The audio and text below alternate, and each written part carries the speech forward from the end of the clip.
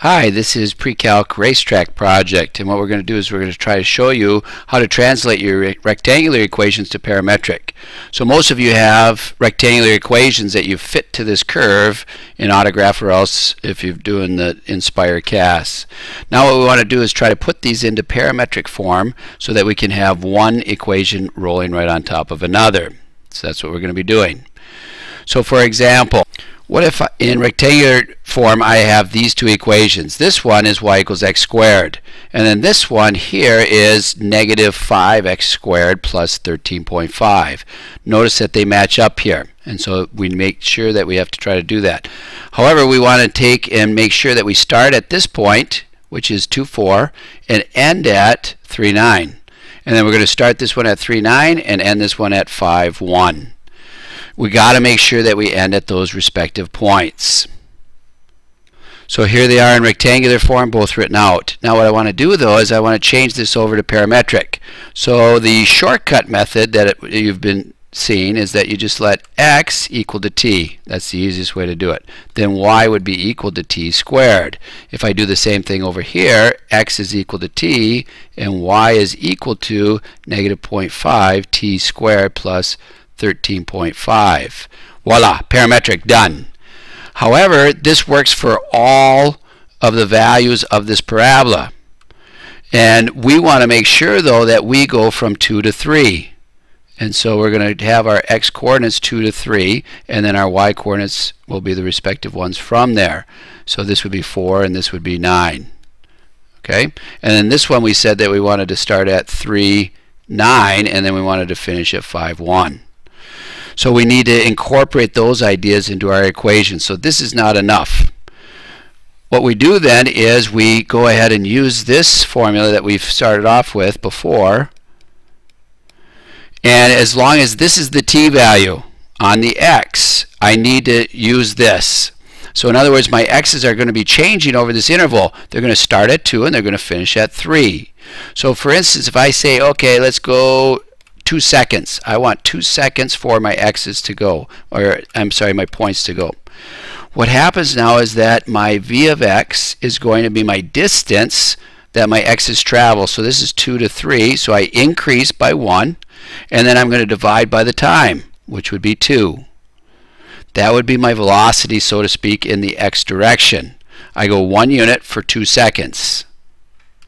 And if I put this into an equation, then this is going to be x is equal to, my x naught is my starting value, so that would be my 2. And then I'm going to go plus my velocity, and then I'm going to multiply by t. That would be actually my x equation. Now we might say, okay, let's do the y. Can we leave it as t squared? Well, if I leave it as t squared and I start at time 0, that would start me at y equal to 0. But I got y equal to 4. So what I need to do is I need to actually plug in the 2 into here somehow and get the 2 and get out a 4. Well, how do we do that?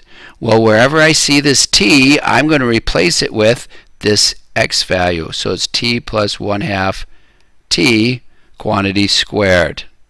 So let's check this out. So if I do t, x, and y, if I start at 0, what happens? Well, that would give me 2. And then if I take this, I know inside parentheses I'm going to get 2, and then I'm going to square it, I get 4. That works. And then if I take uh, time 2, which should be at the end of that, if I take a 2 and put it in there, I'm going to get 3 here, and then I'm going to get 9 there. So it works. Okay, so this x, if you just call it t, it's not going to work. You're going to have to what I what I call linearize it. It was linear before, but we have to use this equation right here to deal with it. Now, if you look at this one, this one, I'm going to start at time 2, and say, for instance, uh, I go from 3 to 5. Maybe I want to take 4 seconds. And so if I do this one, I'm starting this equation after this equation. So I have to do a t-chart and make sure things match up. So I'm going to say that x is equal to x naught plus vxt. This is going to be a different equation. If I look at this, I get v of x. My distance traveled, I increased by 2 for my x's. So that distance would be 2, and then I'm going to do it over 4 seconds. So here my velocity still is going to be 1 half. So if I set this up and I linearize this, this is going to be x naught, which in this case now is my 3. That's my starting value. Here's my change per unit of time and multiply by the time, which would give me my total change right there. So that's going to be my x value or my x equation. Then to do my y.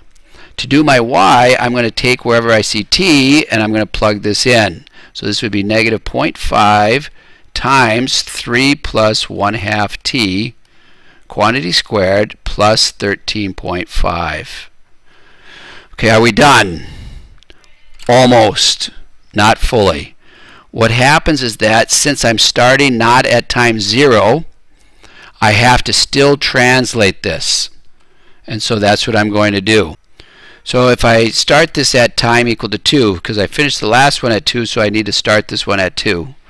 I need to translate this t by t minus 2. So this would be x is equal to 3 plus 1 half.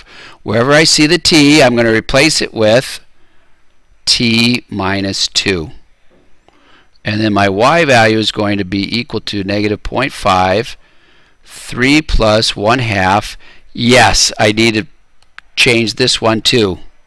Quantity squared plus 13.5 that will give you your equation that's going to start at time 2. Let me close that off.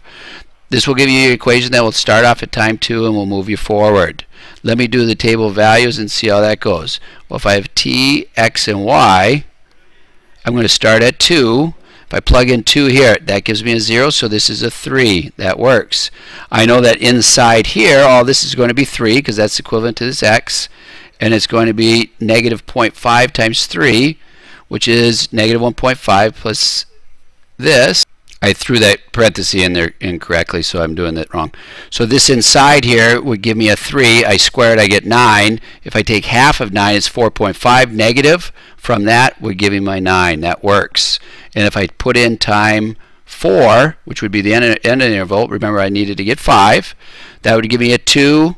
So this would be overall a, this then would be I said 4, but it's 6 seconds because the whole interval is going to be 4. So if I take 6 in here, that would be 4, and half of that's 2, so this is my 5. So this whole thing inside is going to be 5. Square it, 25. And then half of that is uh, negative 12.5, and then from 13.5 gives me my 1. And so this gives me my points, and this works. So you have to do two things. First, you have to do the shortcut rewrite these things in uh, with x equal to t, and then here's your y value. And then you have to go ahead and linearize the x, and then take whatever that x is and plug it in for the t over here for my y equation. That should work. Now, this is only if you have a straight, straight rectangular equation. If you are doing your circles or your ellipses, you don't have to do this linearization. All you have to do is the simple translation because these are already in uh, a form that's for our parametrics. Okay? So be careful with this. However, this is how you're going to get your rectangular equations to go over. So here's my first equation put in, and here's my second equation put in, and then this is the result. I did not use the booleans, so it did not stop here for the first equation, but you can see the starting point for the second equation works out quite well. Okay, so uh, what you'd have to do with the Boolean though is you still have to translate these last two. So here's what the picture would look like. Let me show you one other thing that also I'll try to show you the table in another video. However, this is a good way to get these uh, equations to hook up and make sure you use your Boolean operators with those. Thanks.